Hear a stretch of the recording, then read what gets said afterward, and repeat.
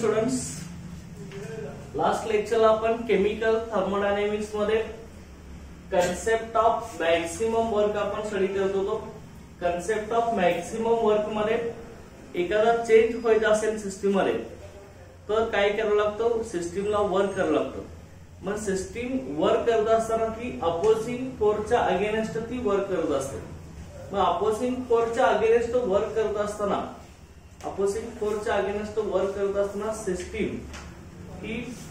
System मध्ये driving फोर्सची value ही अपोजिंग फोर्स पेक्षा जास्त असायला लागते जेवढा अपोजिंग फोर्स जास्त असणार आहे तेवढं सिस्टीम वर्कडन जास्त करणार आहे जेवढा सिस्टीम सिस्टीमला जास्त होणार तेवढं सिस्टीम ती ओव्हरकम करून वर्क करण्यासाठी सिस्टीमला जास्त एफर्ट घ्यावं लागतं जे more is the opposition more is the work done by the system हे आपण बघितलेलं आहे आता कंडिशन्स फॉर मॅक्सिमम वर्क एखादं वर्क मॅक्सिमम करायचं असेल तर त्यासाठी काय कुठल्या कंडिशन्स पाहिजे लक्षात घ्या पहिली जी कंडिशन्स आहे याच्यामध्ये ओके पहिली कंडिशन आहे मॅक्सिमम वर्क साठी any change taking place in its thermodynamic reversible पाहिजे कुठलाही चेंज आपल्या सिस्टीम मध्ये करायचा असेल तर तो रिव्हर्सिबल चेंज पाहिजे तरच मॅक्सिमम वर्क होत असतो लक्षात ओके ओके रिव्हर्सेबल प्रोसेस मध्ये मॅक्सिमम वर्क होत असते त्यामुळे any change taking place any change taking place any change taking place any change taking place in system any change taking place in in system is thermodynamically reversible thermodynamically reversible ते ही पहिली condition आहे okay कुठलाही change करायचा तर तो change कसा पाहिजे थर्मोडायनेमिकली रिव्हर्सिबल चेंज पाहिजे बरोबर आहे ना तरच सिस्टीम काय करणार आहे आपली मॅक्सिमम वर्क करणार आहे अंडरस्टँड आता मग सेकंड कंडिशन काय असतात रिव्हर्सिबल चेंज पाहिजे कुठलाही चेंज होतो तो रिव्हर्सिबल चेंज पाहिजे ई रिव्हर्सिबल नको आहे ओके मग आता सिस्टीम आपली जो चेंज होणार आहे सिस्टीममध्ये तो इन्फिनाइट नंबर ऑफ स्टेप्स मध्ये झाला पाहिजे अनेक स्मॉल स्मॉल स्टेप मध्ये चेंज होत गेला पाहिजे एका सिंगल स्टेप मध्ये चेंज झाला तर सिस्टीम मॅक्सिमम वर्क करणार नाही तुम्हाला मी एक्झाम्पल सांगितलं होतं आपण आता लिफ्ट आपण चढून जाणार जिना चढून जाणार आपण वरती लक्षात घ्या का प्रत्येक पायरीला प्रत्येक स्टेअरला वर्क होत चालणार आहे सर का प्रत्येक स्टेअरला वर्क होत चालणार आहे त्यावेळी मॅक्सिमम परत उत्तर देताना तिथूनच ना आपण रिव्हर्स होते रिव्हर्सिबल रिव्हर्सेबल प्रोसेस पाहिजे तरच मॅक्सिमम वर्क म्हणतात आणि मॅक्सिमम वर्क हे अनेक स्मॉल स्टेप मध्ये होत असतं म्हणजे इन्फिनाईट नंबर ऑफ स्टेप्स मध्ये होत असतं ओके त्यामुळे आपण काय म्हणू शकतो बघा any change taking place in system is thermodynamic reversible and change takes place change takes place in system system मध्ये आपला जो चेंज होणार आहे change in the system in infinite number of steps change take place in system take place in system change place in system in in number of steps in in number of steps लक्ष system मध्ये change होणार आहे तो अनेक small statement झाला पाहिजे लक्षात घ्या तरच मॅक्सिमम वर्क होणार आणि त्यानंतर त्यानंतर नेक्स्ट याच्यामध्ये ड्रायव्हिंग फोर्सची व्हॅल्यू जी आहे ती कशी पाहिजे अपोसिंग फोरपेक्षा मध्ये गेटर पाहिजे एकदम स्मॉल क्वांटिटी मध्ये जास्त पाहिजे तरच आपलं मॅक्सिमम वर्क होणार चल का driving force driving force is greater greater than force force is infinitesimally greater than opposing force Okay. Driving फोर्सची व्हॅल्यू अपोजिंग फोर्स पेक्षा स्मॉल क्वांटिटी मध्ये जास्त पाहिजे सर का थोडासा डिफरन्स पाहिजे जास्त डिफरन्स असेल तर सिस्टम मॅक्सिमम वर्क करणार नाही लक्षात घ्या ओके त्यानंतर at every step system is in mechanical equilibrium with is surrounding प्रत्येक स्टेपला सिस्टीम सराउंडिंग बरोबर मेकॅनिकल इक्विलिब्रियम मेकॅनिकल इक्विलिब्रियम म्हणजेच काय प्रेशर कॉन्स्टंट पाहिजे सिस्टीमचं प्रेशर म्हणजे गॅसचं प्रेशर आणि अपोजिंग फोर्सचं प्रेशर असताना आहे किंवा एक्स्टर्नल प्रेशर ह्या दोघांची व्हॅल्यू इक्वल पाहिजे प्रत्येक स्टेपला बघा याच्यामध्ये system is in mechanical equilibrium mechanical equilibrium with surrounding with its surrounding okay तरच आपलं मॅक्सिमम वर्क होणार आहे लक्षात सिस्टीम आपली कुठं पाहिजे मेकॅनिकल इक्विलिब्रियम ना पाहिजे सराउंडिंग बरोबर मेकॅनिकल इक्विलिब्रियम म्हणजेच काय सिस्टीमचं प्रेशर आणि सराउंडिंगचा असणारा एक्सटर्नल प्रेशर या दोघांची व्हॅल्यू इक्वल पाहिजे तरच आपली मॅक्सिमम वर्क इथं होणार आहे ओके या सगळ्या कंडिशन इक्वलंट आहे all are equal for maximum work हा तुम्हाला क्वेश्चन विचारला प्रोत्साहन नीट point out all conditions are equal for maximum work maximum work होण्यासाठी ह्या सगळ्या कंडिशन इक्वेलंट असतात लक्षात या सगळ्या कंडिशन फॉलो करावं लागतात तरच मॅक्झिमम वर्क सिस्टीम कडून होत असतात लक्षात ओके पहिलं काय आपलं कुठलाही सिस्टीम मध्ये चेंज होत असेल तर तो थर्मोडायनेमिक रिव्हर्सेबल चेंज पाहिजे आणि सिस्टीमला चेंज अनेक स्मॉल स्टेप मध्ये झाला पाहिजे इन्फिनिट नंबर ऑफ स्टेप मध्ये झाला पाहिजे आणि ड्रायव्हिंग फोर्सची व्हॅल्यू कशी पाहिजे अपोसिंग फेअर पेक्षा थोडीशी जास्त पाहिजे ओके सिस्टीम मेकॅनिकल इक्विलिब्रियम पाहिजे सराउंडिंग बरोबर समजा तरच मॅक्सिमम वर्क होणार आहे ठीक आहे आता ह्याच्यानंतर आपण आता मॅक्सिमम वर्कचं एक्सप्रेशन आपण आता स्टडी करणार आहे मॅक्सिमम वर्क कसं होत असतं त्याचं आपण एक्सप्रेशन आपण आता स्टडी करणार आहे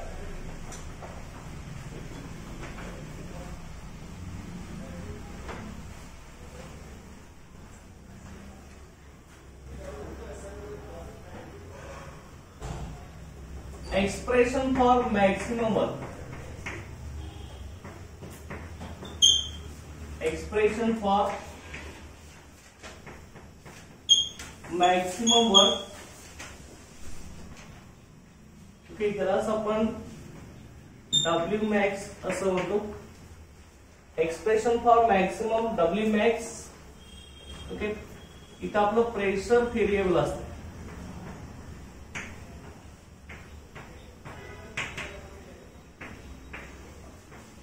प्रेशर व्हेरिएबल प्लस आपण आणखी काय म्हणतो बघा expression for expression for expression for work done in isothermal reversible process expression for work done in isothermal reversible process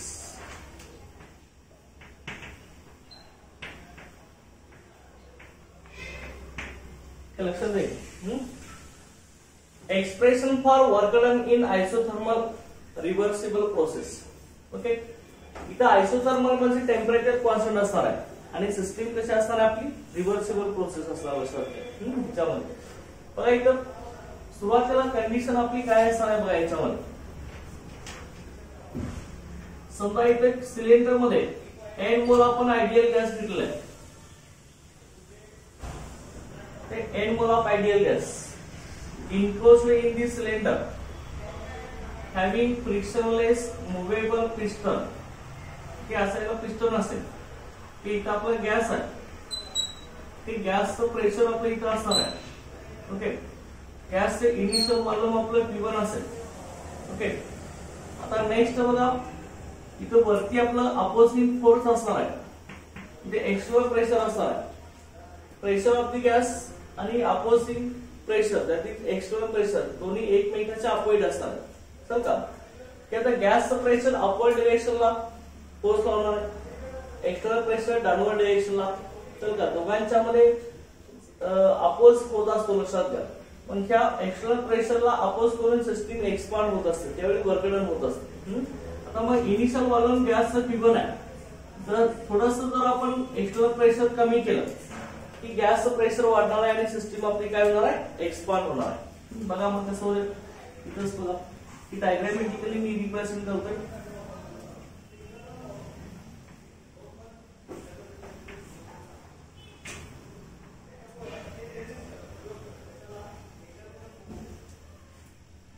same इथं pressure of the gas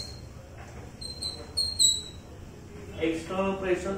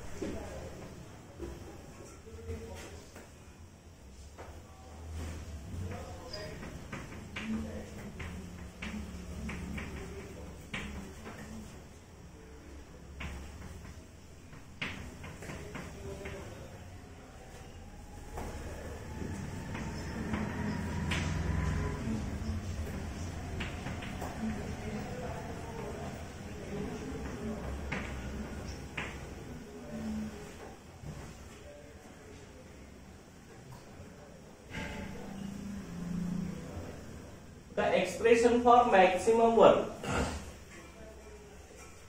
in isothermal reversible process तसं असताना लक्षात घ्या n moles of ideal gas आपण इथे घेतले n moles of ideal gas enclose in the cylinder having pressure P initial volume figure okay n moles of ideal gas आपण या cylinder मध्ये घेतले त्या सिलेंडरला फ्रिक्शनलेस मुव्हेबल रिजिड असा पिस्टन आहे ओके आणि गॅसचं कॉलम इनिशियल पी आहे फायनल कॉलम काय आपलं पी टू आहे गॅसचं एक्सपान्शन होणार आहे from initial volume P two final volume P two का ओके गॅस गॅसचं एक्सपान्शन होणार आहे आता मग ही गॅसचं एक्सपान्शन होत असताना during this expansion okay during this expansion During this expansion, small change in volume takes place at every stage. Okay. And this expansion takes place in infinite number of small steps. अनेक small small step मध्ये हे expansion होतं. बघा आपण काय म्हणजे एनवॉल्व ideal gas आपण या सिलेंडर मध्ये घेतलेला त्या गॅसचं प्रेशर पी आहे का त्या गॅसला गॅस आपण सिलेंडर मध्ये घेतलाय सिलेंडरला फ्रिक्शनलेस रिजिड मुव्हेबल असा पिस्टन आहे का ह्या पिस्टनची मुवमेंट होत असणार आहे आणि हा गॅस काय होणार आहे एक्सपांड होणार आहे कसा एक्सपांड होणार आहे कंडिशन कुठल्या आहे एक्सपांड होत असताना आयसोथर्मल आणि रिव्हर्सिबल कंडिशन आहे आयसोथर्मल म्हणजेच काय गॅस एक्सपान्शन होत असताना टेम्परेचर कॉन्स्टंट राहणार आहे टेम्परेचर चेंज होणार नाही आणि आयसोथर्मल आणि रिव्हर्सिबली सिस्टीम कुठल्याही स्टेपला रिव्हर्स होऊ शकते थोडासा जरी एक अपोजिंग फोर्सची व्हॅल्यू म्हणजे एक्स्टर्नल प्रेशरची व्हॅल्यू वाढली की सिस्टीम परत काय होणार रिव्हर्स व्हायला चालू होणार सर का गॅस तर एक्सपान्शन होऊन दॅट आयसोथर्मल आणि रिव्हर्सेबल कंडिशनला आता मग हे जे एक्सपान्शन होणार आहे ते एक्सपान्शन अनेक स्मॉल स्टेप मध्ये असं होत जाणार सर अनेक स्मॉल स्मॉल स्टेप मध्ये होत आहे आता लक्षात घ्या हे कसं होणार आहे बघा इथं आपण आता गॅस घेतलाय सिलेंडर मध्ये त्याला फ्रिक्शनलेस डिसीड मुव्हेबल पिस्टन आहे इनिशियल व्हॉल्यूम पी आहे जर आपण एक्सटर्नल प्रेशर एक्सटर्नल प्रेशर पहिल्या स्टेप मध्ये थोडस एक्सटर्नल प्रेशर आपण कमी केलं स्मॉल चेंज केला external pressure pressure of the gas पेक्षा थोडस कमी केलं की काय होणार आहे ओके काय होणार आहे गॅस एक्सपान्शन होणार ना लक्षात का म्हणजे प्रेशर ऑफ द गॅस पीची व्हॅल्यू आपली वाढणार आहे त्यावेळी गॅस एक्सपांड होणार आणि हा जो पिस्टन आहे थोडासा वरती जाणार ना असा तर काही ते पी एक्स कमी केलं लक्षात ना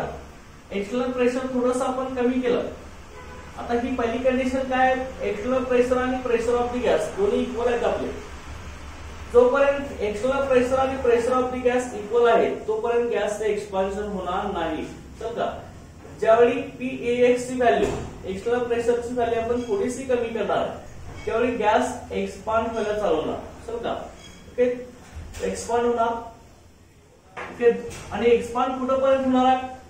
ज्यावेळी परत नवीन प्रेशर ऑफ दी गॅस आणि एक्सटर्नल प्रेशरची व्हॅल्यू इक्वल होत नाही तोपर्यंत गॅस एक्सपांड होणार आहे परत मग आणखी आपण काय केलं सिस्टीम आता परत प्रेशर आणि एक्सटर्नल प्रेशरची व्हॅल्यू इक्वल झाली म्हणजे सिस्टीम कुठं आली मेकॅनिकल इक्विलिब्रियम मध्ये परत आली बरोबर आहे ना ओके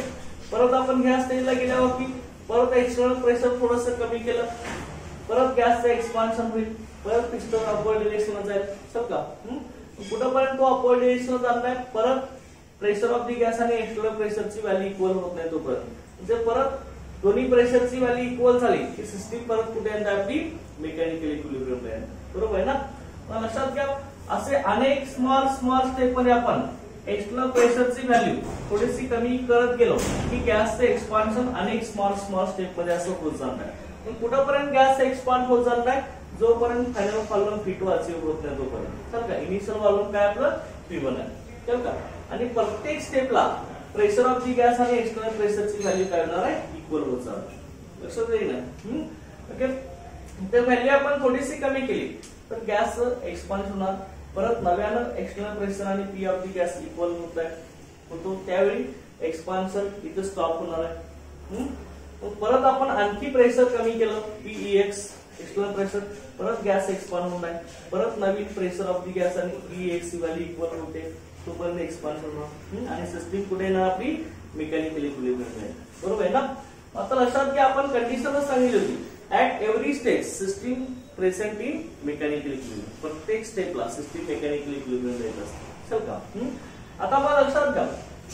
ही प्रत्येक स्टेपला आपण एक्स्ट्रा प्रेशरची व्हॅल्यू म्हणजे अपोसिंग फोर्सची व्हॅल्यू कमी करत जाणार त्यावेळी स्मॉल स्मॉल स्टेप मध्ये गॅस असं एक्सपान्शन होत जाणार लक्षात घ्या मग लक्षात घ्या जर थोडस जरी एक्स्ट्रा प्रेशरची व्हॅल्यू वाढवली तर सिस्टीम परत रिव्हर्स व्हायला चालू होते लक्षात घ्या ड्रायव्हिंग पेक्षा अपोजिंग फोर्स म्हणजे कोण आपला एक्स्ट्रा प्रेशर आहे त्याची व्हॅल्यू थोडीशी वाढली तर सिस्टीम परत रिव्हर्स व्हायला चालू होते लक्षात म्हणजे प्रत्येक स्टेजला मॅक्सिमम वर्क कराल तर प्रत्येक सेलला ड्रायव्हिंग फोर्सची व्हॅल्यू कशी पाहिजे इन्फायनाईट अशी म्हणजे ग्रेटर दॅन अपोजिंग फोर्स चल का थोडीशी किंवा ना अपोजिंग व्हॅल्यू कशी पाहिजे आपली जास्त पाहिजे तरच आपलं मॅक्सिमम वर्क होऊन आता मला लक्षात घ्या प्रत्येक स्टेप मध्ये आपण एक्स्ट्रा प्रेशरची व्हॅल्यू स्मॉल क्वांटिटी मध्ये कमी करत जाणार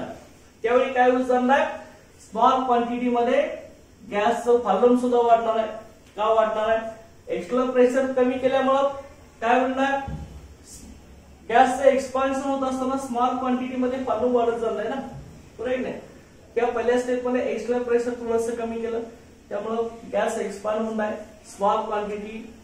ऑफ गॅस गॅसचं इन्क्रीज होऊन आहे चल का आता प्रत्येक स्मॉल स्टेप मध्ये गॅसचं फॉलम किती क्वांटिटी मध्ये वाढणार आहे डीव्ही ह्या क्वांटिटी मध्ये वाढत चालणार प्रत्येक स्टेपला चल का मग लक्षात घ्या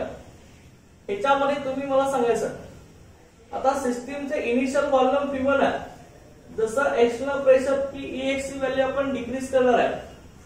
त्याचवेळी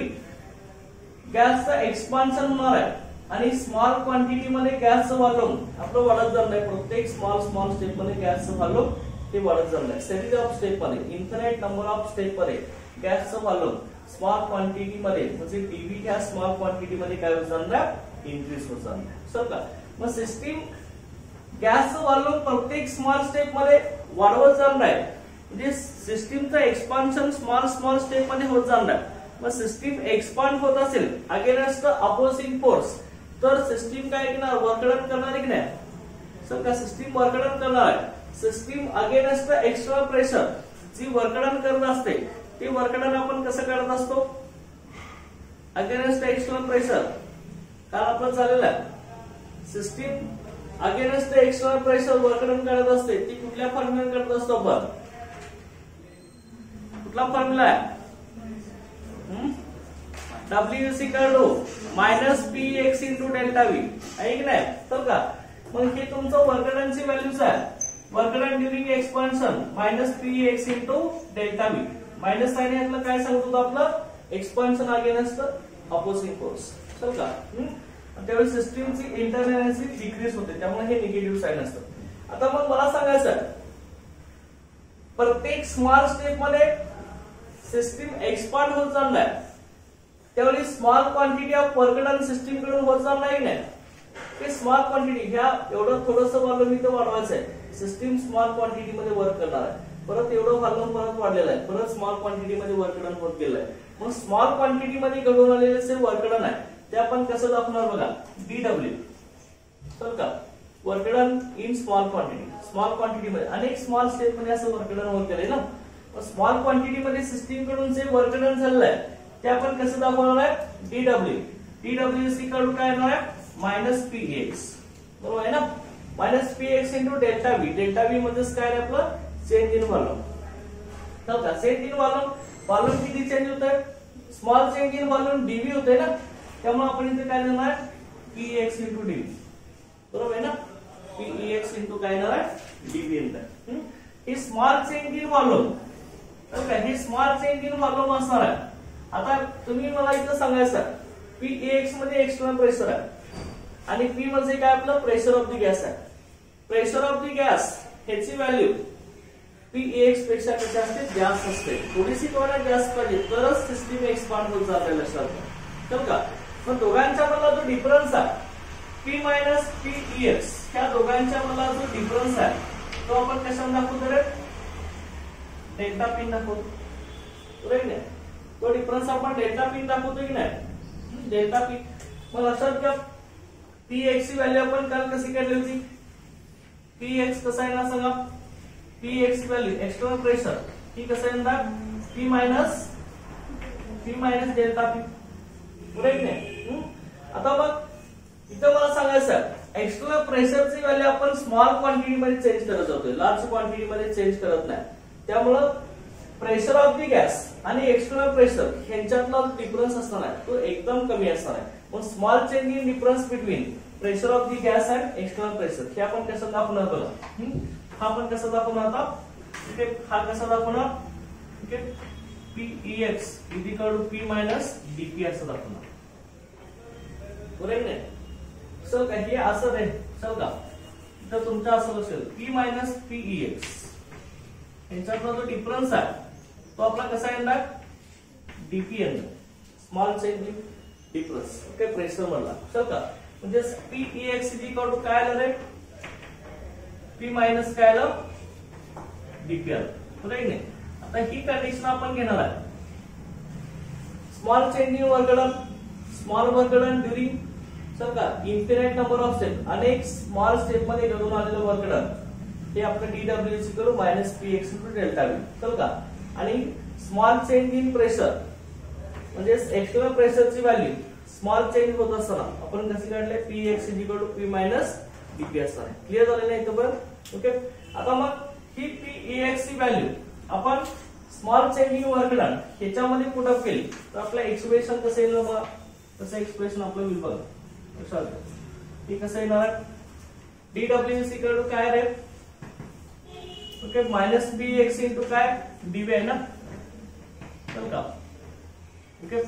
आता पी एक्स ची आपण काढलेली आहे किती आले आपली पी मायनस डी पी आल आहे ते आपण इथं टाकतो minus P into D P बाहेर काय डीबी आहे ना चल का पण डीबी ने मल्टिप्लाय करा ना डीबी ने मल्टिप्लाय केलं तर काय होणार पी इंटू डीबी मायनस काय येणार आहे रे डीपी इंटू डीबी तर मायनस मायनस तिथे काय होणार प्लस होईल बरोबर नाही ओके सर का डीबी ना आपण ह्या ब्रॅकेटला मल्टिप्लाय केलं रे पी एक्स व्हॅल्यू काय आपली पी मायनस डीपी आहे ना तो का ती आपण प्रोडक्ट केली पी मायनस डीपी ब्रॅकेटच्या बाहेर डीव्ही आहे डीबी ना आपण घ्या ब्रॅकेटला मल्टिप्लाय केलं मायनस सिम्बॉल आलेलीस डीबी ला मल्टिप्लाय केलं P into DB minus minus plus होईल ते DP into DP understand okay आता लक्षात घे सर हे small change in work done झालं सी कडून minus P DV plus DP into DV आता हा जो प्रॉडक्ट आहे डीपी इंटू डीव्ही हा एकदम कसा असणार आहे कमी असणार आहे व्हेरी स्मॉल असणार आहे एकदम स्मॉल डिफरन्स असणार आहे इन्फिनाइट नंबर ऑफ स्टेप्स मध्ये प्रेशर कमी होत जाणार आणि पालू वाढत जाणार एकदम कमी डिफरन्स असणार आहे D P into D V ह्याची व्हॅल्यू अतिशय स्मॉल असणार आहे त्यामुळे product D P into D V आपण निग्लेक्ट केला हा product DP into DV neglect केला तर काय येणार आहे डी कडून काय येणार आहे फक्त पी मायनस डीबी येणार का minus P into DB okay आता मग मला सांगायचं स्मॉल चेंज मध्ये स्मॉल चेंज होत असताना स्मॉल एक्सपान्शन होत असताना सिस्टीम सराउंडिंगच्या अगेन्स्ट एक्सपांड होत असताना स्मॉल क्वांटिटी मध्ये जे वर्कडन घडून आले त्यातलं कसं येत आहे DW is equal to minus P into DB असणार बरोबर ना मग आता मला सांगा तुम्हाला मॅक्सिमम वर्क डन कडा असेल किंवा टोटल वर्क डन कडा असेल आता सिस्टीम कशी एक्सपांड होणार इनिशियल फॉलोम फी वन पासून कुठंपर्यंत एक्सपांड होणार आहे फायनल फॉलोम फी टू पर्यंत एक्सपांड होणार मग ह्या फायनल फॉलोम फी टू पर्यंत सिस्टीम एक्सपांड होत असताना आणि एक स्मॉल स्मॉल स्टेप मध्ये फॉलोम वाढत जाणार आणि स्मॉल क्वांटिटी मध्ये वर्क डन होत आणि अनेक नंबर ऑफ स्मॉल स्टेप मध्ये ही वर्क डन होत चाललंय राईट नाही अनेक स्मॉल स्टेप मध्ये ओके ही वर्कडन डन होत चाललंय मग आपल्याला टोटल वर्क डन असेल तर काय करावं लागेल त्या सगळ्या स्मॉल स्टेप मध्ये घडून आलेल्या वर्क ची सम करावं लागेल राईट नाही टोटल वर्कडन आपल्याला काढायचं आहे सिस्टीम फी वन पासून फी टू पर्यंत एक्सपॉन्ट होत असताना तर अनेक स्मॉल स्टेप मध्ये हे वर्गडन होत जाणार असं सिस्टीम एक्सपांड होत असताना बरोबर नाही पण तुम्हाला टोटल वर्क डन असतं अनेक स्मॉल स्टेप मध्ये घडून आलेले वर्क आहे त्या सगळ्या वर्क ची काय करावं लागेल ऍडिशन करावं लागेल सम करावं लागेल त्याच वेळी तुम्हाला काय होणार आहे टोटल वर्क मिळणार बरोबर आहे ना आता टोटल वर्क करण्यासाठी किंवा अनेक इन्फिनाइट नंबर ऑफ स्टेप मध्ये घडून आलेल्या वर्क ऍडिशन करत असतो सम करणार आहे आपण ते सम करण्यासाठी आपण काय घेतलं पाहिजे इक्वेशनचं इंटिग्रेशन घेतलं पाहिजे चल नाही ऍडिशन करत असताना सम करत असताना आपण इंटिग्रेशन घेतो की नाही चल का इंटिग्रेशन घ्यायचं आता इंटिग्रेशन घेत असताना डी डब्ल्यू कडून कसं येणार सांगा इनिशियल स्टेट टू लिमिट आपण घेणार ना final state initial state to final state चल का ओके इनिशियल स्टेट आपली पालन कुठं असणार आहे टी वन असणार आहे final state T two volume असणार चल का इसी ठीक आहे ना integration minus P into D V आता वॉल्युम आपलं एक्सपांड कसं होणार आहे इनिशियल वॉल्युम किती आपलं पी वन आहे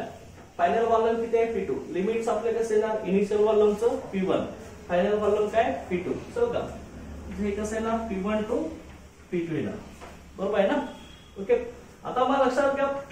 आता डी डब्ल्यूचं आपलं इंटिग्रेशन हे आपलं कसं मॅक्सिमम वर्कडन मिळणार आहे हे आलं डब्ल्यू मॅक्स चल का डब्ल्यू मॅक्स मॅक्सिमम वर्कडन म्हणजे त्या सगळ्या नंबर ऑफ स्टेप मध्ये घेऊन स्मॉल वर्कडनचे ऍडिशन सर की आपलं डब्ल्यू मॅक्स मिळालं W max maximum work done आता इथं लक्षात घ्या हे आपलं कसं येणार बघा याच्यामध्ये इथं बघा की add it P one to P two minus P two DV आता तुम्हाला आयडियल गॅस इक्वेशन ऑलरेडी माहिती आयडियल गॅस इक्वेशन आपलं काय आहे ideal gas equation PV C to काय आपलं एनआरटी आहे ना आयडियल गॅस इक्वेशन मग आता पीसी वाली काढून घ्या आणि ती इथं पुढं करूया आपण पी इक्वल टू काय आपलं एनआरटी बाय पी बरोबर ना ideal gas equation ideal gas equation PBSC कडू एनआरटी पी ची व्हॅल्यू आपली N R T by B ही आपण इथं पुट करणार आहे चल का इथं पुट केल्यावरती आपल्याला कसं दिसणार बघा आता मी गॅस साईडला लिहितोय चल का हे कसं येणार आपल्याला लक्षात घ्या इथं W max is equal to कसे येणार बघा W max is equal to P one to P two समजा हे आपलं पी पी ची वैल्यू किती आपली NRT NRT by B into D V ना बरोबर आहे ना आता मग हे मी कसं लिहितो बघा लक्षात घ्या P one to P two समजा मायनस आता याचं कॉमन काय निघणार आपलं बघा त्यातलं आपण सांगितलेलं N number of pores of gas आहे आर गॅस कॉन्सन आहे की टेम्परेचर आहे थर्मल कंडिशन आहे म्हणजे आपलं काय असणार टेम्परेचर कॉन्सन असणार त्यामुळे एनआरटी बाहेर निघणार इंटिग्रेशनच्या मायनस काय होणार येतं NRT okay P one to P two चल का व्ही बाय पी चालू बरोबर ना ओके तर त्यानंतर लक्षात घ्या पुढे काय असणार आहे आयसोथर्मल कंडिशन आहे टेम्परेचर कॉन्स्टंट आहे ओके ह्याचं आपण आता इंटिग्रेशन आपण आता हे कसं लिहिणार बघा त्यामध्ये कसे आपण इथं मेन्शन करणार आहे याच्यामध्ये की आता minus NRT L N L N काय नाव आपल्या याच्यामध्ये पी ना का ओके पी वन टू काय येणार इथं पी टू येणार बरोबर आहे ना ओके आता परत हेच आपण कसं लिहिणार minus NRT L N P two minus L N P one आता ह्या एल एनचं सबस्ट्रॅक्शन मध्येच division minus N R T L N P two by P one okay आता हे काय येणार बघा आता एल एन मध्येच काय असणार आहे आपला एल एन मध्येच काय असणार आहे लॉकटेनी लॉकटेनची व्हॅल्यू किती two point three not three log ten sir का त्यामुळे तिथं आपण पुटअप करूया minus two point three not three N R T हे काय नाव आहे लॉकटेन काय होणार हे log ten P two by P one हे आपलं एक्सप्रेशन पुन्हा चालू मॅक्सिमम वर्क एक्सप्रेशन आपल्याला इथे मिळालं ठेवू हे काय असणार डब्ल्यू मॅक्स असणार डब्ल्यू मॅक्स हे तुम्हाला वर्क डनचं इक्वेशन मिळालं हे अशा ओके आता मग according to Boyle's law Boyle's law आपला काय सांगतो रे बाईस लॉ बाईस लॉ काय सांगतो pressure inversely proportional to volume असतो बरोबर आहे ना pressure inversely proportional to volume असेल तर आता मी त्या साईडला घेतो चल का हे कसं आहे ना बघा इथं W max is equal to Boyle's law pressure inversely proportional to म्हणजे म्हणजेच काय असणार आहे P V equal to K येणार याच्यावर का PV is equal to K किंवा हेच आपण असं लिहूया P is to K by V म्हणजेच पी व्ही इक्वल टू काय आला के आला ना म्हणजे P one P one is equal to P two V two त्याच्यावर आपण काय लिहू शकतो P one by P two हा पी टू इकडे डिवाइड झाला ना चल का आणि हा पी वन ह्या पी टू ला डिवाइड झाला P two by P one हे अशा होईल आता ह्यानंतर आपण कसं लिहिणार हाच ह्याचीच व्हॅल्यू आता P one by P two is इकडं P two by P one ही जी व्हॅल्यू आहे आपण ह्या P two by P one ला आपण ऍड केलं तर आपला दुसरा फॉर्म होईल W max W max is equal to minus two point three not three N R T log P one by P two लक्षात का की अशा बाबतीने आपल्याला काय मिळणार आहे सेकंड फॉर्म मिळणार आहे बर्कडनसाठी लक्षात होता त्याच्यावर आपण work done in isothermal reversible process किंवा कन्सेप्ट ऑफ मॅक्सिमम वर्क हे आपलं एक्सप्रेशन आहे चल का हे तुम्हाला साठी तीन ते चार मार्क्ससाठी विचारला लक्षात घ्या आणि याच्यावरती प्रॉब्लेम असतो शंभर टक्के एक तर work done against constant external pressure किंवा work done for maximum work याशिवाय पेपर निघत नाही लक्षात ओके या शक्तीने हे expression for maximum work done हे लक्षात आहे ना त्याच्यामध्ये काय डाऊट आहे का अंडरस्टँड ओके तर त्यानंतर नेक्स्ट आपण आता याच्यामध्ये path dependence nature of work आपण बोलणार आहे वर्कचं नेचर हे पाथ वरती डिपेंड आहे आपण सांगितलेलंच आहे वर्क हे आपलं काय पाथ फंक्शन आहे स्टेट फंक्शन आहे ते आपल्याला बघायचं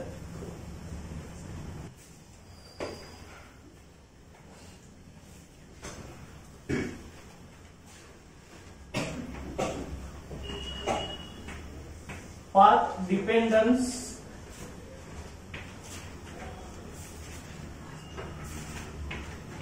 path dependence nature of work path dependence nature of work work हे पाथ वरती डिपेंड आहे हे आपल्याला सांगायचं आहे work is not property of the system it does not depend on the system state okay ची प्रॉपर्टी नाही सिस्टीमच्या स्टेटवर डिपेंड नाही तर त्याच्यावर डिपेंड आहे पाथवर डिपेंड आहे समजा सिस्टीम आपली इथं इनिशियल स्टेज असेल इनिशियल स्टेज आपली इथं ए असेल समजा ए स्टेज असेल ए स्टेजला सिस्टीमचं फॉलोअन काय असेल पी असेल इथं आपली दुसरी स्टेज असेल इथं बी स्टेज असेल समजा इथं आपली बी स्टेज आहे चल का ते त्या बी स्टेजला सिस्टीमचं फॉलोअन पी टू असेल ओके आता सिस्टीम आपली लक्षात घ्या ए स्टेज कडून बी स्टेजला येत असताना तीन डिफरंट पाथ फॉलो करणार आहे समजा तीन डिफरंट पाथ फॉलो करणार आहे समजा या शब्द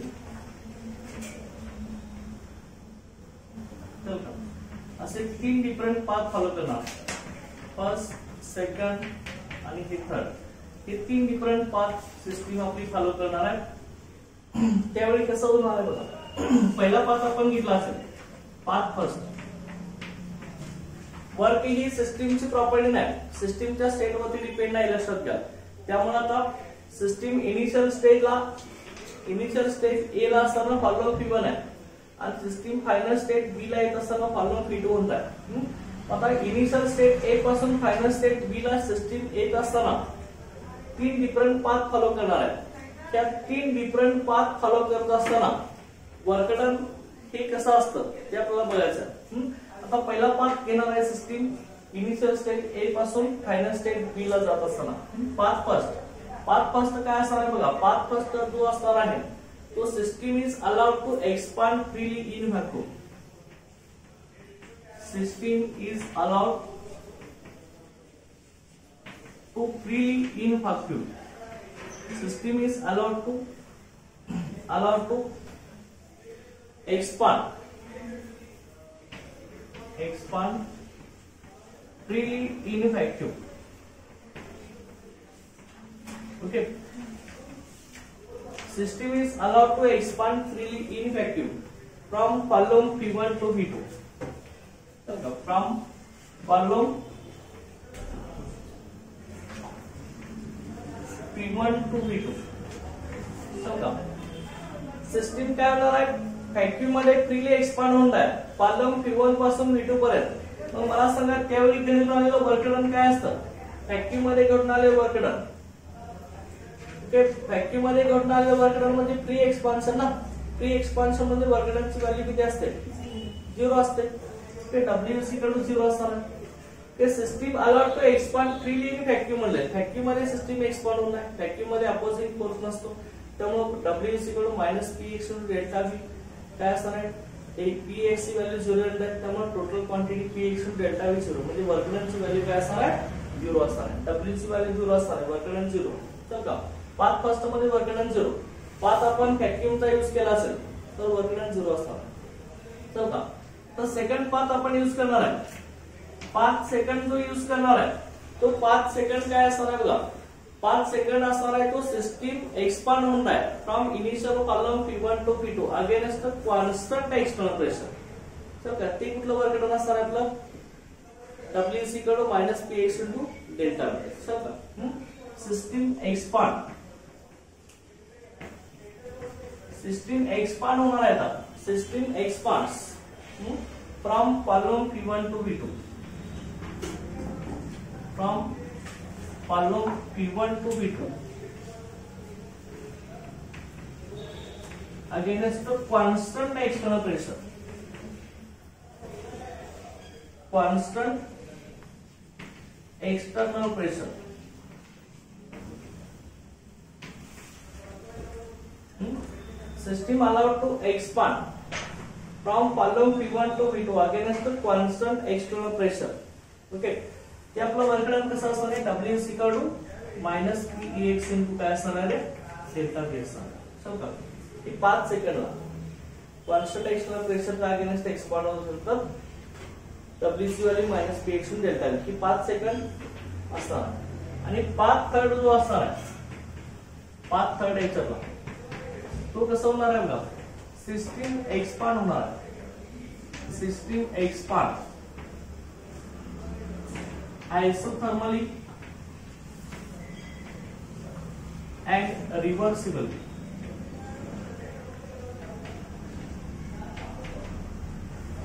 system expand isothermally and reversible from palom p1 to p2 त्यावेळी वर्कडन करून येणार आहे ते वर्कडन कुठला असणार आहे आपलं डब्ल्यू मॅक्स असणार आहे आयसोथर्मल आणि रिव्हर्सेबल कंडिशन ते काय असणार आहे W max minus two point three nought three NRT log ten P two by V चल का हे असणार आहे तीन पाच मध्ये घडणारे वर्क आपलं सेम आहे का नाही लक्षात घ्या सिस्टीमच्या स्टेट वरती वर्क डिपेंड नाही सिस्टीम इनिशियल स्टेज पासून फायनल स्टेटला असताना follow P one to P two होणार आहे त्यावेळी सिस्टीम तीन डिफरंट पाथ युज करणार आहे तिन्ही पाथ मध्ये वर्कडनची व्हॅल्यू आपली डिपेंड आहे पहिल्या पाथ मध्ये काय सिस्टीम एक्सपांड होणार आहे फॅक्टरी मध्ये फॅक्टरी मध्ये अपोजिंग फोर्स असतो तेव्हा वर्कडनची व्हॅल्यू काय असणार झिरो असणार आणि पाच सेकंड मध्ये सिस्टीम एक्सपांड होणार आहे from पालोम V one to V two against constant external pressure त्यावेळी वर्कडनची value minus P X into delta V असणार आणि त्याच्यानंतर पाच थर्ड मध्ये सिस्टीम एक्सपांड होऊन by isothermal and reversible from column P one to V two त्यावेळी work डनची value maximum work असा आहे minus two point three nought T NRT log ten P two by V okay therefore work is काय असणार work is a okay path function असणार it is not a state function work is path function not state function लक्षात ठेवा वर काय आपलं path function आहे हे स्टेट फंक्शन नाही समजा it depends on path followed by the system not on the सिस्टमचं initial and final state okay अशा तीन हे path dependence nature of work आहे आता जसं आपण वर्क हे पाथ फंक्शन आहे त्याच पद्धतीनं एनर्जीचा दुसरा फॉर्म आपला हीट आहे तो हीट सुद्धा पाथ फंक्शन आहे तो आपण इथं प्रूव्ह करणार आहोत चल का बघा path dependence nature of heat असणार होता बघा path dependence nature of heat तो कसा असताना बघा आता हीट आपण कसं दाखवतो कॅपिटल क्यू किंवा स्मॉल क्यू ही दोन्ही दाखवतो काही बुक मध्ये कॅपिटल क्यू आहे काही मध्ये स्मॉल क्यू लक्षात ठेवा हीट आपण कॅपिटल क्यू किंवा स्मॉल क्यू न रिप्रेझेंट करत असतो ओके बघा याच्यामध्ये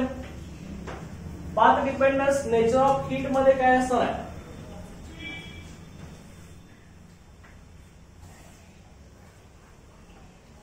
सिस्टीम आपली इथे एक्सपांड होणार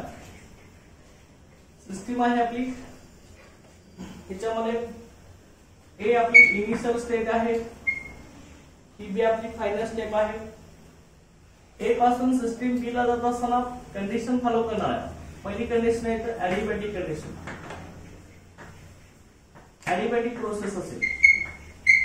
किंवा ऍडिबॅटिक कंडिशन असेल तर त्यावेळी क्यूची व्हॅल्यू काय असतात झिरो ना no exchange of heat between system and surrounding आणि जर आयसोथर्मल कंडिशन फॉलो केली असेल आयसोथर्मल आयसोथर्मल कंडिशन असेल आयसोथर्मल प्रोसेस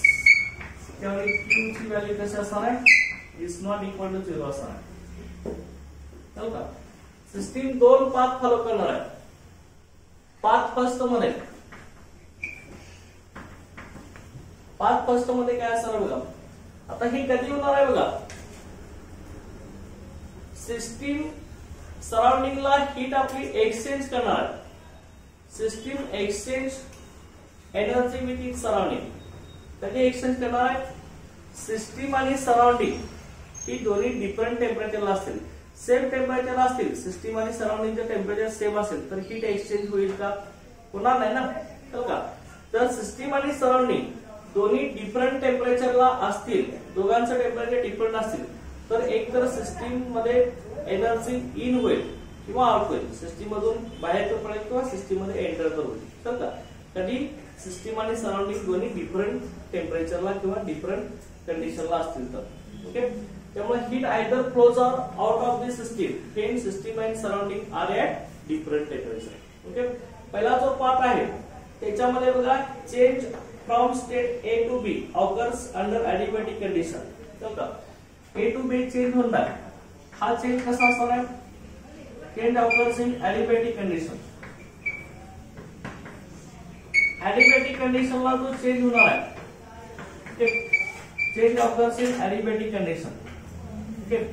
आता ऍलिबॅटिक कंडिशनला काय होणार आहे no exchange of heat between system and surrounding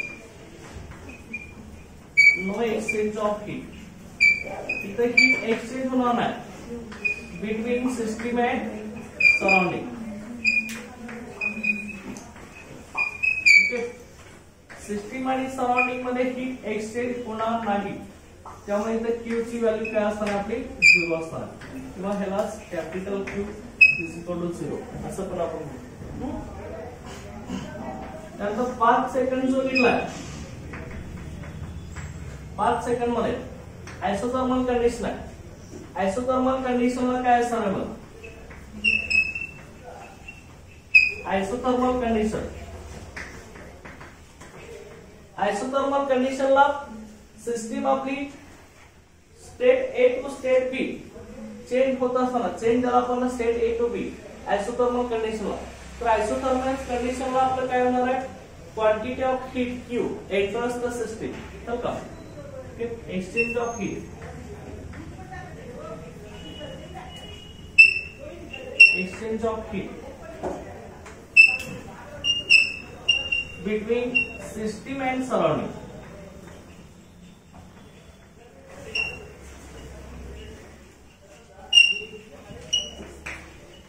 exchange of heat between system and surrounding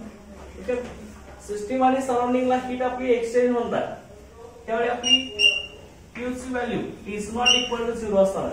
तर क्यूची व्हॅल्यू एक तर वाढेल किंवा कमी होईल सिस्टीमनं हीट ऍब्सॉर्ब केली सराउंडिंगला तर क्यू काय होणार आहे इनक्रीज होणार सिस्टीमने हीट रिलीज केली सराउंडिंगला निघाला तर काय होणार आहे हीट काय होणार डिक्रीज होणार तर त्यामुळे Q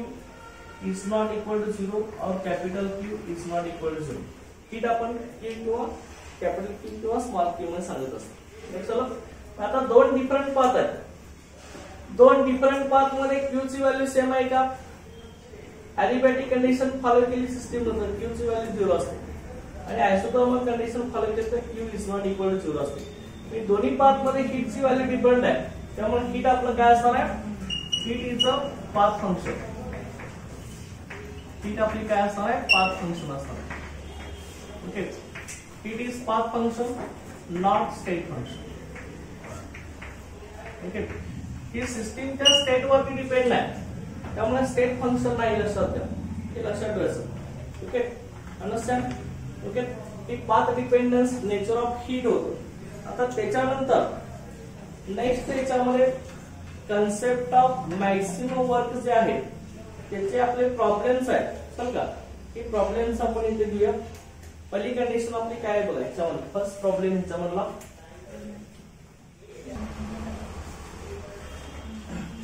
पहिला प्रॉब्लेम काय बघा याच्यामध्ये two moles of an ideal gas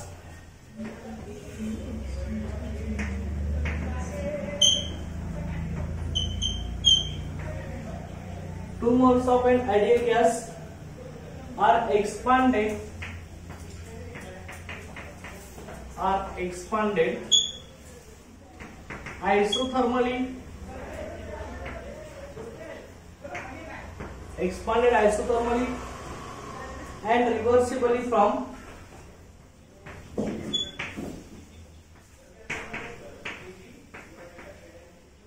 reversibly from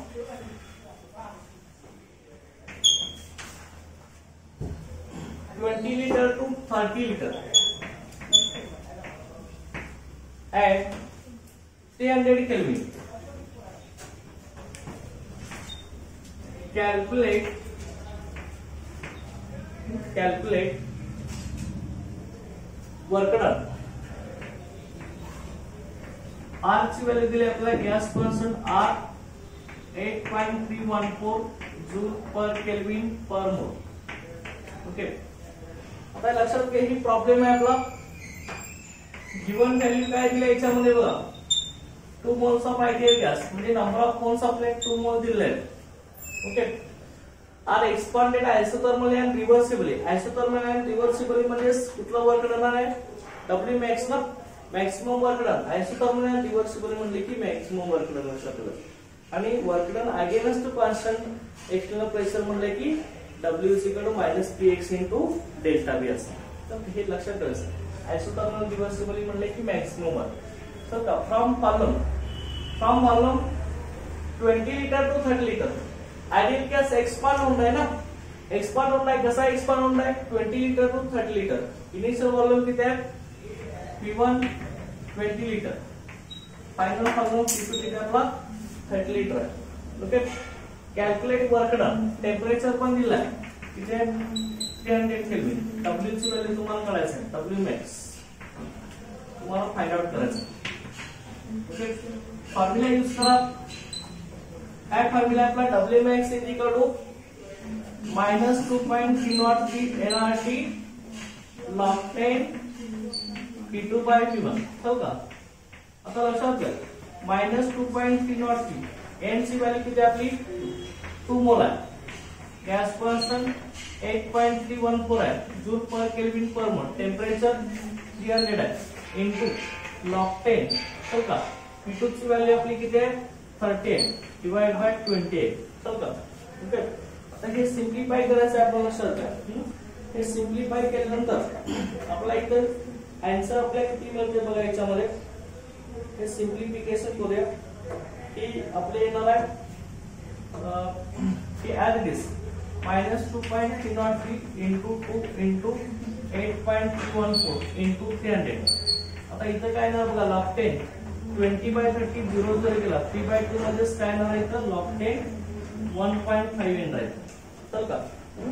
one point five आता ही तुम्ही काय करायचं लक्षात घ्या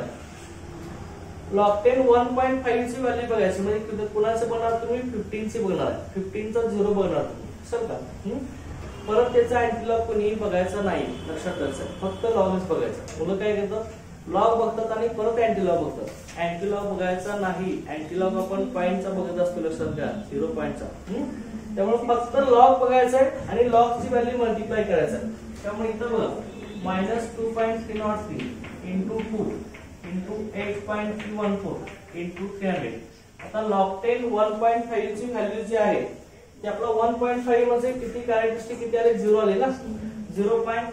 किती आपल्याला बघा one point five one seven six one चल का हे करायचं तुम्ही परत ह्याचा अँजेल ऑफ बॉयस नाही एवढ्यावर थांबायचं चल का हे आता मल्टिप्लाय करायचं सिम्प्लिफाय करायचं त्याचं अँसर ते मिळणार आपल्याला minus two zero minus two zero two three joule मध्ये येणार आणि कुणाला किलो जून मध्ये पाहिजे असेल तर काय करायचं फक्त ten s to minus three न मल्टिप्लाय करायचं हे जून मध्ये आलं आता minus two zero three zero joule ह्याच्यामध्ये ten s to minus three न मल्टिप्लाय केलं तर ही किलो जून मध्ये ten s to minus three इथं आला ten s to minus two ten s to minus one इथं आलं तर two point zero two three kilo joule असं होईल ना त्यामुळे कोणीही तुम्ही ठेवू शकता डोळसूर मध्ये पण काढू शकता आणि आपलं जून मध्ये पण काढू शकता असं ओके आपल्याला ही वर्तन मिळालं का two zero two three zero understand अशा हे वर्तन काढायचं लक्षात आहे ना त्यानंतर सेकंड प्रॉब्लेम विचारला बघा नेक्स्ट प्रॉब्लेम काय दिला बघ 22 gram of carbon dioxide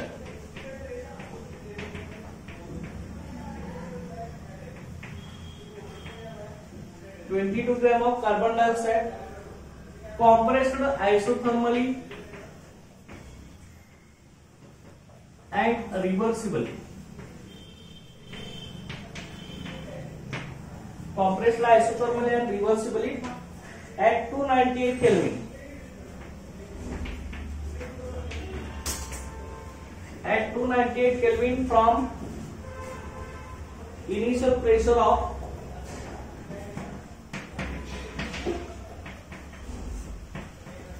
initial pressure of 100 kilopascal 100 kilopascal kPa when work obtained when work obtained is 1.2 kilojoule. Find the final pressure. Find the final pressure.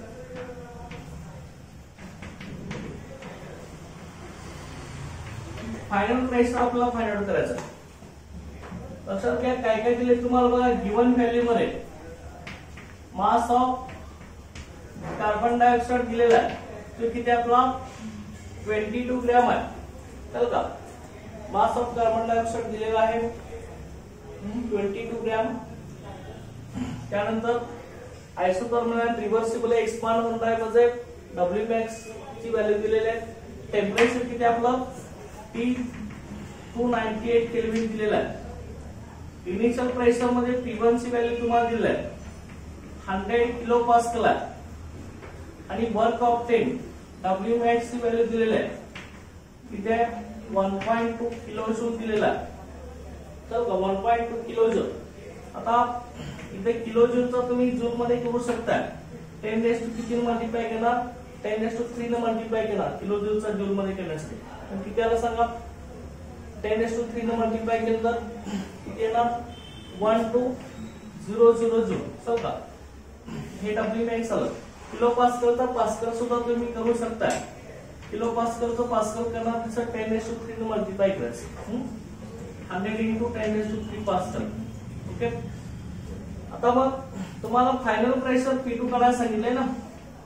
आपला फॉर्म्युला काय W max equal to काय formula रे minus two point three nought B N R T log ten काय आहे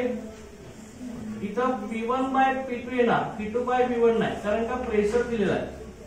P one by P two येणार तर का आता इथं बघा तुम्हाला इथं एनआर ला एन ची व्हॅल्यू माहित नाही एन ची व्हॅल्यू काढून नंबर ऑफ मोल्स कसे करणार mass divide by molar mass mass दिले carbon dioxide twenty two gram molar mass carbon चे किती असतो फोर्टी फोर ग्रॅम बरं नाही सीओ टू चा मोलर मास आहे molar mass forty four gram है number of moles N C value twenty two by forty four किती one by two ना वन बाय टू म्हणजे पॉईंट फाइव मोल्स आले okay N C value आता इथं घ्या W max ची value घ्या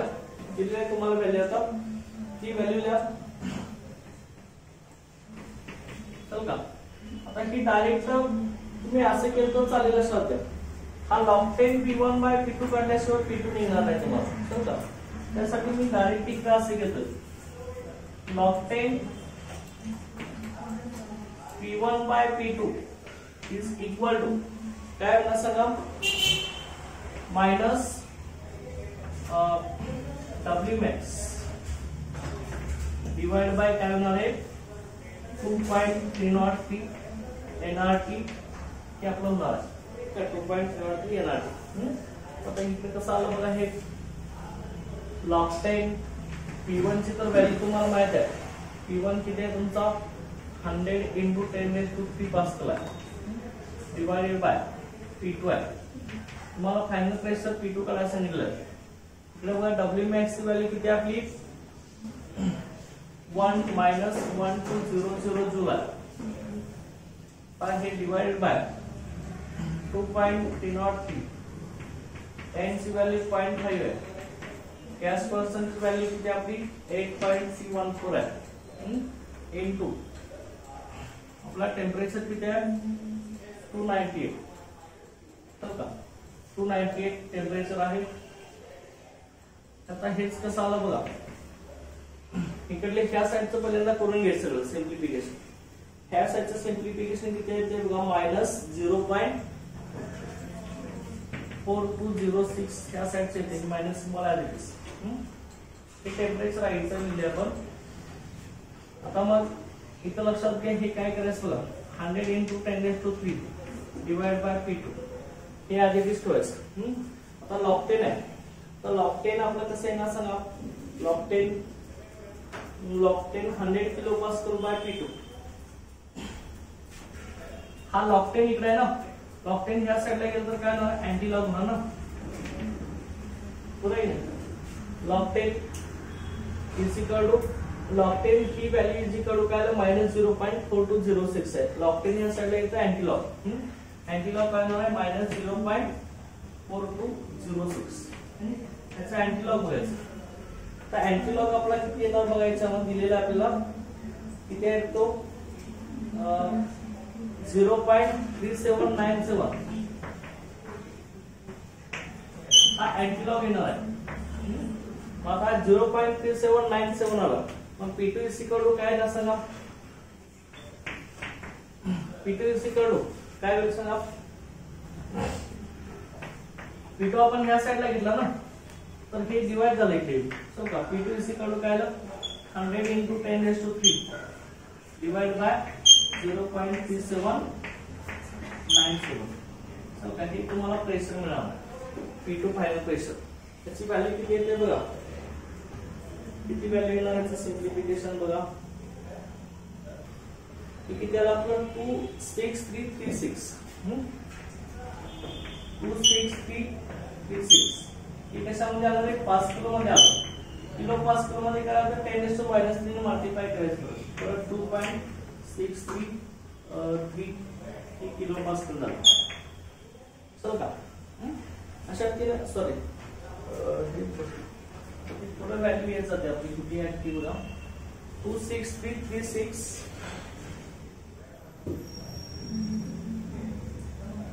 six two six three three six five point eight one आहे लक्षात येईल एट वन पास एवढे येणार म्हणजे से काय आलं आपलं two six three three kilo pascal झालं two six three three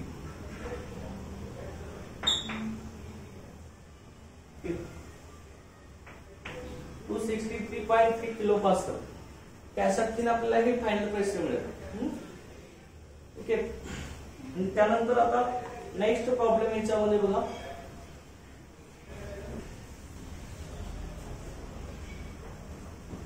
three hundred millimole of ideal gas millimole आहे three hundred millimole of N ideal gas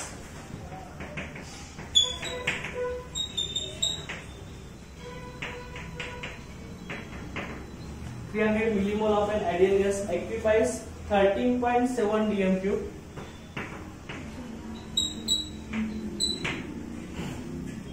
At 300 Kelvin. Calculate work done. Fan the gas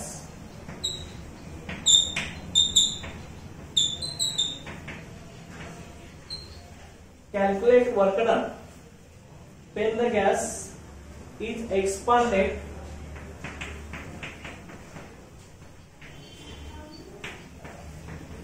okay, gas expanded until its volume until its volume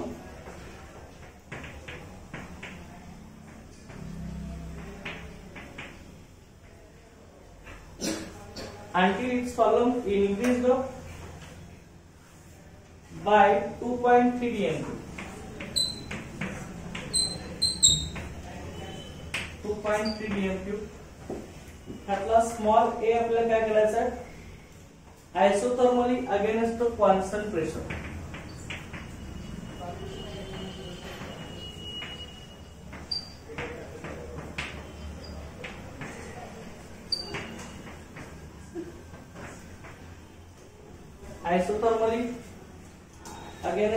constant external pressure constant external pressure of point P bar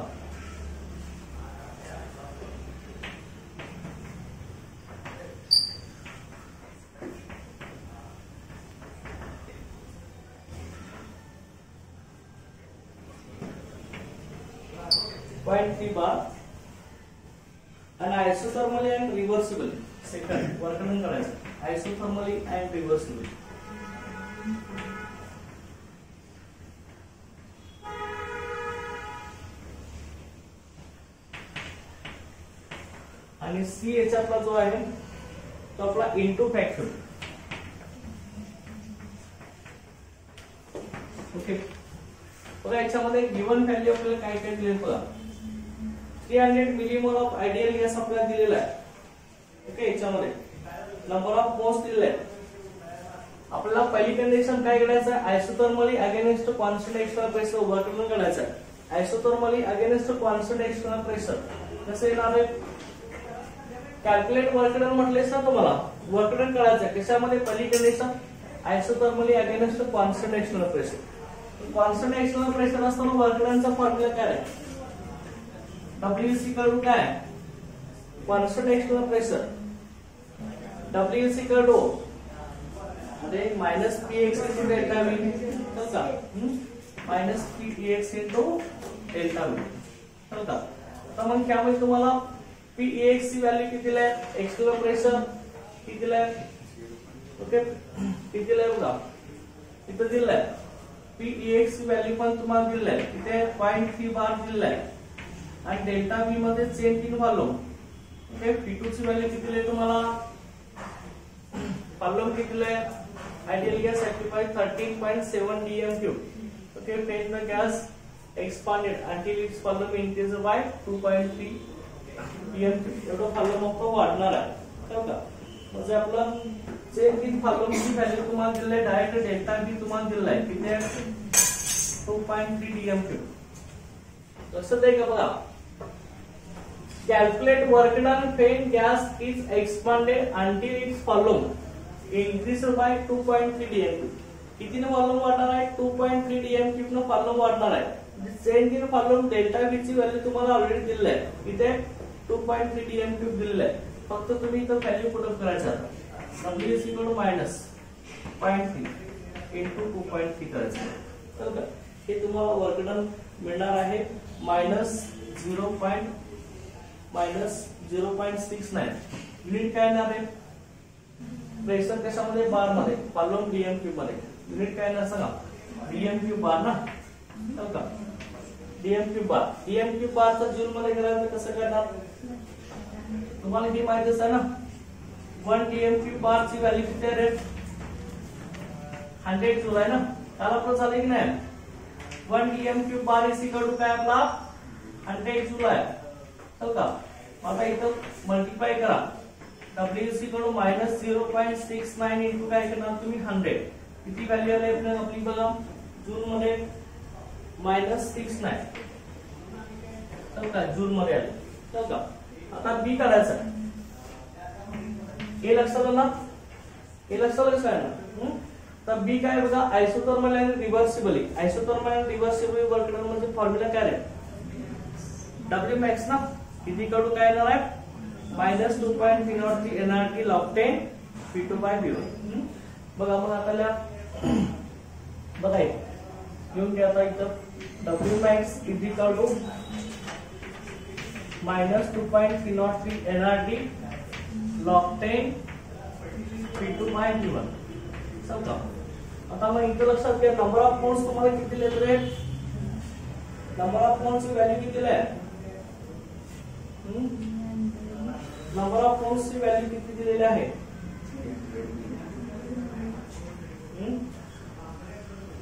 number of points N ची value three hundred milli mole है ना मिलीमोलचं conversion mole मध्ये करा it you not three hundred into ten s to minus three mole just किती आला रे point three mole आ टी एन सी व्हॅल्यू मिळाली गॅस कॉन्स्टंट माहिती ना eight point three one four joule per kelvin per mole temperature दिल आहे temperature किती आहे टेम्परेचर दिलं आपला किती टेम्परेचर दिल बघा थ्री हंड्रेड केल्विन त्यानंतर पी टू कितीला आहे P two final column final column P two initial किती आहे थर्टीन पॉईंट सेवन प्लस वाढणार किती आहे टू पॉईंट थ्री टोटल किती आलं किती आले सिक्स्टीन आलं की नाही सिक्स्टीन डीएम टू सुरुवातीला एवढं होतं एवढं वाढणार आहे ना टू पॉईंट थ्री ना टू पॉईंट थ्री वाढणार आहे नाही increase by two point three initial किती होतं थर्टीन पॉइंट सेवन त्याच्यामध्ये किती two point three final volume का thirteen point seven plus two point three अपने सिक्सटीन डी एम व्हॉल्यूम बरबर ना मत पी वन कि initial volume P one thirteen point seven पहली प्रोडक्ट करा था क्या फॉर्म्युलामध्ये same W max is equal to minus two point three naught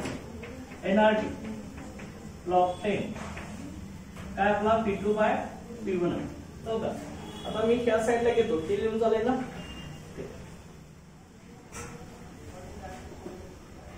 काय येणार बघा W max is equal minus two point three naught three N ची value किती तरी आपली पॉईंट थ्री आता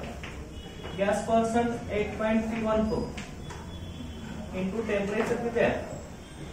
temperature 300 Kelvin. Okay, into okay into क्या है loctane loctane P2 by V1 P2 की वैल्यू 16 डिवाइड बाय 13.7 समजा आता मग हे सिम्प्लिफाय करा 2.303.3 into 8.314 इंटू थ्री हंड्रेड आता log ten sixteen by thirteen point seven ह्याची व्हॅल्यू जी आहे आपली zero point zero six seven four तर काय ही डिवायडेशन करून तुम्ही करू शकता लक्षात लॉगच बघायचं बाकीच काय बोलायचं किती आले आपले हे झिरो पॉईंट झिरो सिक्स आहे का झिरो सिक्स सेवन आहे का सेवन फोर ओके आता इकडं मल्टिप्लाय करायचं ते सिम्प्लिफाय करायचं होतं की त्याला आपलं minus one one six point one joule आलं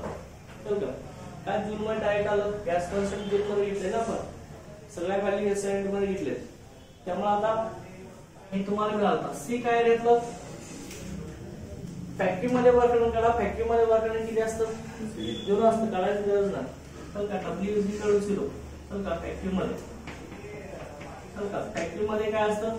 डब्ल्यू सी कडून minus P X into delta V फॅक्टरीमध्ये पी एक्स e काय असतो झिरो असतो ना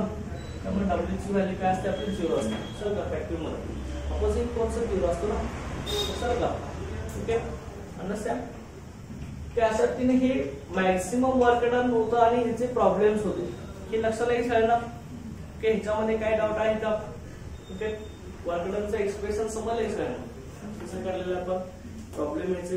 अंडरस्टँड लक्षात ठेवायचं तुम्ही आयसोथर्मल रिव्हर्सिबल प्रोसेस मधलं वर्कडन म्हणले की डब्ल्यू मॅक्स आलं पाहिजे आणि तुम्हाला work done against constant external pressure म्हणले की डब्ल्यू सी कडून minus P X to delta V work done in free expansion म्हणलं किंवा फॅक्टरी म्हणलं तर डायरेक्ट झिरो येणार चल का हे लक्षात ठेवायचं चल का वर्क आपलं काय स्टेट फंक्शन आहे की पाच फंक्शन आहे स्टेट फंक्शन पाच फंक्शन आहे आणि हेच काय आहे पार्क फंक्शन दोन्ही सुद्धा वर्क आणि हिट फंक्शन आहे do not depends on systems initial and final state understand आता रिमेनिंग पार्ट आहे तो आपण आता नेक्स्ट लेक्चर ओके थँक्यू